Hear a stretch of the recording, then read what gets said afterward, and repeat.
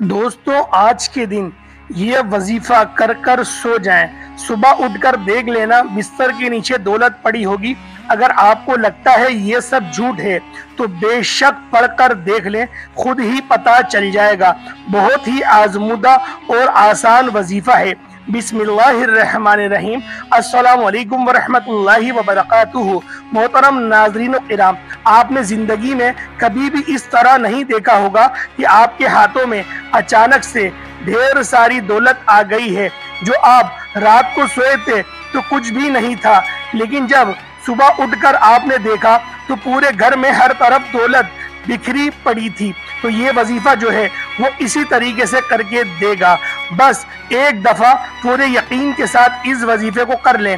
अगर हाथों में ढेरों रिस्क और मालो दौलत ना आए तो फिर कहना, क्योंकि ये जो अमल, ये जो वजीफा मैं आज आपको बताने जा रहा हूँ, इस अमल को, इस वजीफे को रात को आपने सोने से पहले पहले ज़रूर कर लेना है। इस अमल के बाद तो जैसे रिस्क और मालो दौलत को आपसे प्यार ही हो जाएगा। ढेरों दौलत आप पर आशिको मेहरबान हो जाएगी और आपका साथ ज़िंदगी भर नहीं छोड़ेगी, जितना मर्ज़ी भी। आप पैसा खर्च कर लें, मगर पैसा आपके पास से ख़त्म नहीं होगा, बल्कि इस पैसे में अल्लाह ताला अपने फजलो करम से खूब बरकतें, फजीलतें और वसअतें पैदा फरमा देगा और रुपया, पैसा बहुत बरकत वाला होगा। लेकिन आप लोग, लोगों से गुजारिश है कि इस वजीफे को गौर और तवज्जो से नोट फरमा लें, बड़ी एहतियात से सुन लें, ताकि आप लोगों को इससे भरपूर फ़ायदा उठा सकें। ये ऐसा मुकम्मल और जाम तस्बी है, ऐसी पावरफुल तस्बी है।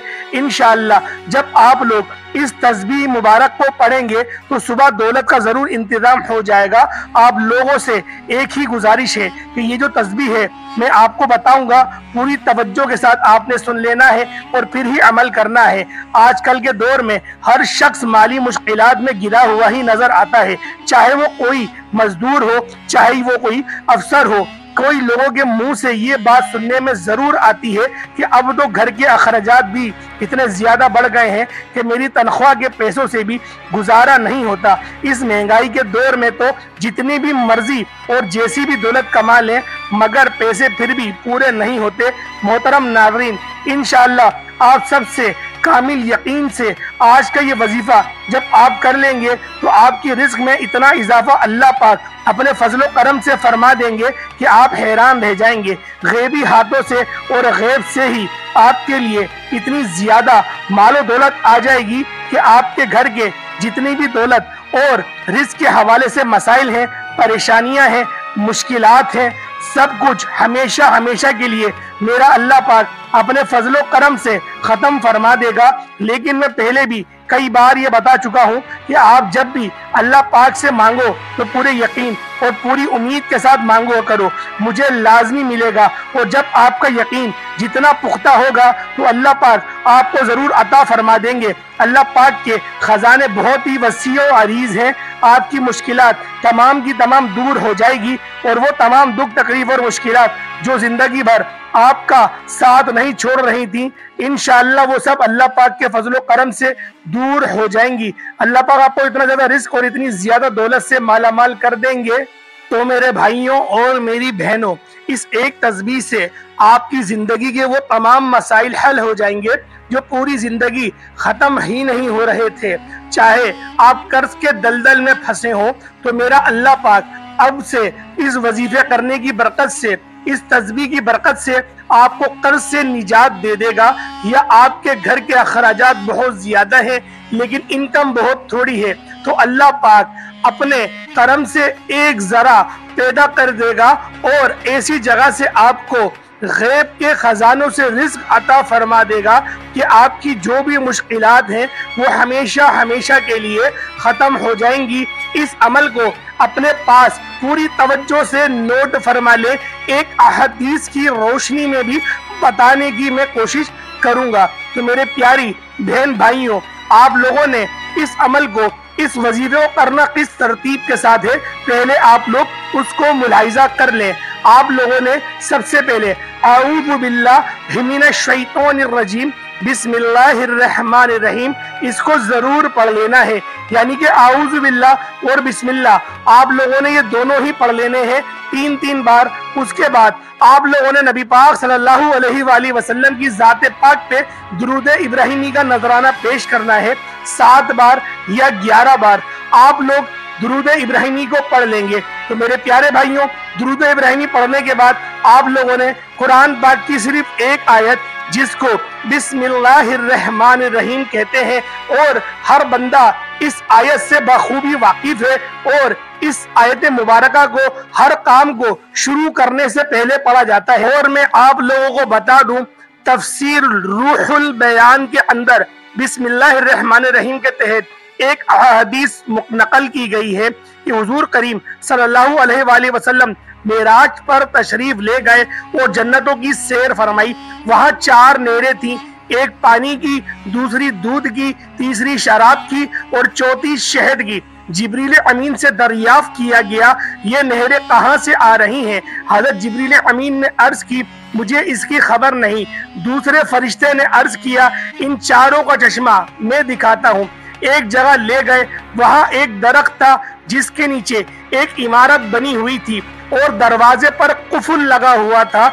इसके नीचे से ये चार नहरें निकल रही थी। इरशाद फरमाया, दरवाज़ा खोलो।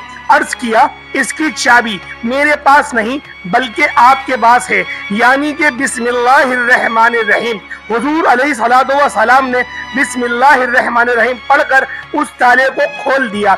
दरवाज़ा फ़ौरन खुल जाता है इस इमारत में चार सुतून थे और हर सुतून पर बिस्मिल्लाहिर्रहमानिर्रहीम लिखी हुई थी और बिस्मिल्लाह की मीम से पानी जारी था।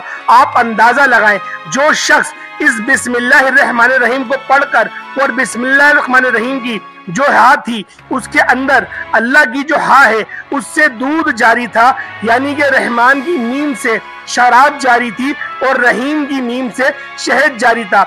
आप अंदाज़ा लगाएँ, बिस्मिल्लाहिर्रहमानिर्रहीम को जब पढ़कर और इस सूरत को मिलाकर आप लोग पढ़ेंगे तो ये अमल किस तरह से आपको करके देगा? मेरे प्यारे भाइयों, बिस्मिल्लाहिर्रहमानिर्रहीम की फजीलत में बहुत सारी अहदीस आई हैं और इसकी फजीलत अगर सिर्फ़ इतनी ही मैं बता दूँ कि हर काम को शुरू करने से पहले नबी पाक सल्लल्लाहु अलैहि वसल्लम ने इरशाद फरमाया कि आप लोग सबसे पहले बिस्मिल्लाहिर्रहमानिर्रहीम पढ़े और उसके बाद कोई काम शुरू करें। इसकी बरकत ये होगी कि शैतान उसमें मुदाखलत नहीं करेगा और अल्लाह पाक हर चीज़ की कुंजी बिस्मिल्लाहिर्रहमानिर्रहीम में अल्लाह ने रख दी है।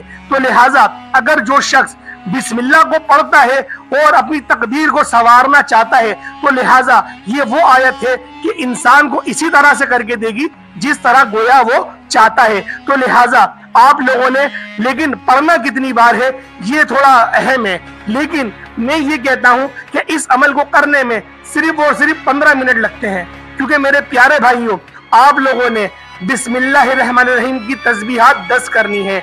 यानी कि एक हज़ार मरतबा आप लोगों ने बिस्मिल्लाहिर्रहमानिर्रहीम पढ़ना है। और उसके बाद दोबारा दुरुद इब्राहिमी पढ़ लें। दिन में किसी भी वक्त आप लोग इस अमल को कर सकते हैं। और इस अमल को करने का एक इंतहाई मुजर्रब तरीका आप लोगों को बताने वाला हूँ कि इंतहाई मुजर्रब तरीका कौन सा है।